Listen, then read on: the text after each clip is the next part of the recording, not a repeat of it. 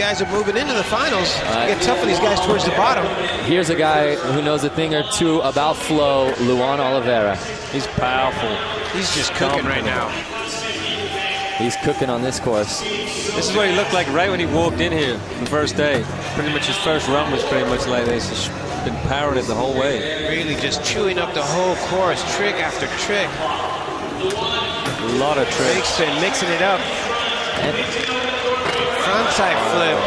Just really mixing it up. This, I mean, man, this, if this isn't a nine run, I don't know what is.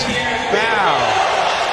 And he still got this thing timed up perfectly. Five seconds times. for one final trick. Oh, we got Come a nine on. run. We got a nine run. That's going to do it. Tell me that's not the best run we've wow. seen today. 100%. I think he wants more. I called it out earlier. An 8.8 for Luan wow. Oliveira. We have a new high score in the flow set.